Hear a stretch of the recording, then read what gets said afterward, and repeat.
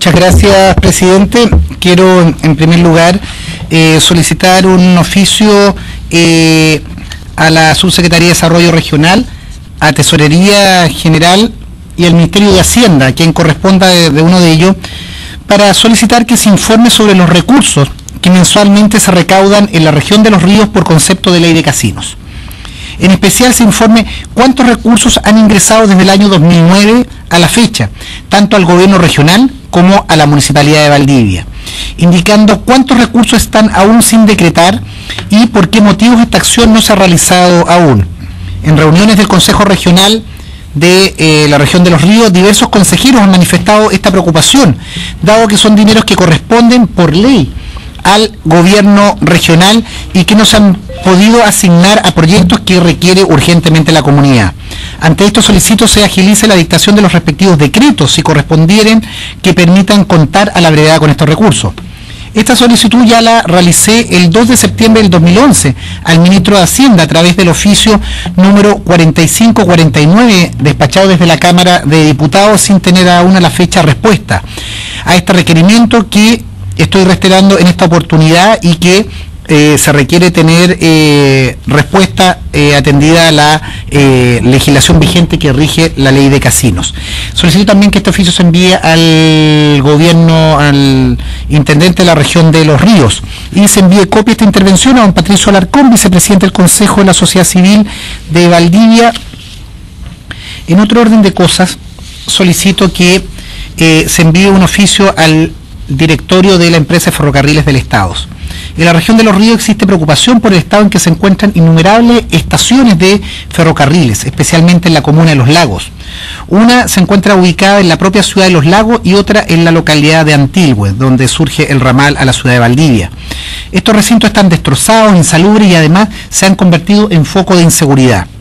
En reiteradas ocasiones el municipio ha solicitado el traspaso de estas estaciones con la finalidad de procurar su recuperación como parte del patrimonio material y además para beneficio de la propia comunidad. Estos lugares son representativos y hay organizaciones interesadas en su rescate y en convertirse en centro cívico de la comuna. Lamentablemente, mientras permanezcan en total abandono, estos dos lugares solo representan postergación. El concejal Miguel Moya de la comuna de Los Lagos ha manifestado su preocupación y también ha invitado públicamente a los directivos de la empresa de ferrocarriles del Estado a viajar al sur, a la región de los ríos, a conocer en terreno el actual estado y comprobar que hay voluntad de asumir la recuperación y mantención de estas dos estaciones que hoy están literalmente abandonados y son un punto negro en tanto en los lagos como en Antilhue. Al respecto, señor presidente, solicito se informe si es factible transferir al municipio de los lagos ambas estaciones de trenes y si es posible que el directorio pueda acudir a la zona y visitar en conjunto con autoridades y organizaciones de la sociedad civil estos dos lugares, con el fin de comprobar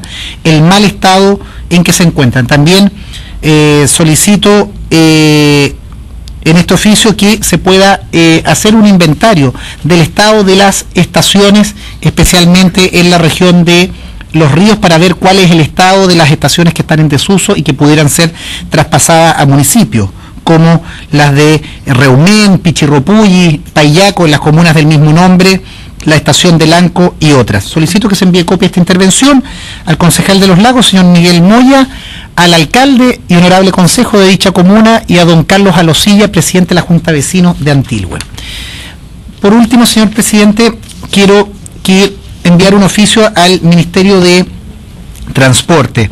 Para que nos informe detalladamente por regiones en qué se va a traducir el proyecto de eh, construcción de más de 250 kilómetros de ciclovías para evitar la congestión vehicular en diversas regiones. Nos hemos enterado por la prensa y por distintas comunicaciones de esta iniciativa que nos parece eh, importante, pero es fundamental que exista participación de la ciudadanía, que se elaboren los planes maestros en cada una de las regiones, que exista participación de los ciudadanos para poder informar y para poder saber en qué se van a traducir. Por eso solicito que se envíe eh, este oficio al Ministerio de Transporte para que nos indique claramente la fecha, los montos y región por región y en qué ciudades se va a desarrollar.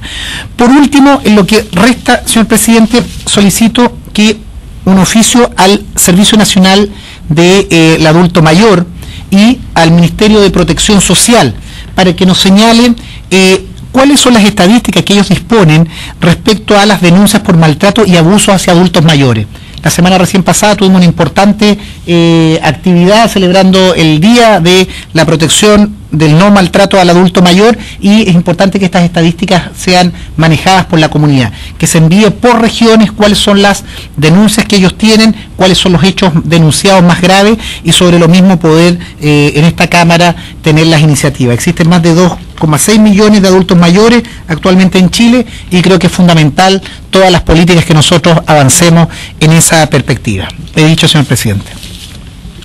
Muy bien, señor diputado, se enviarán los oficios por usted solicitados, más copia a todas las personas que usted ha pedido que se le envíe copia de su intervención para que se dé pronta respuesta por los organismos del Estado, con la adhesión de los parlamentarios que están levantando la mano en esta sala, particularmente el diputado Fuad Charín y, por cierto, de este presidente incidental.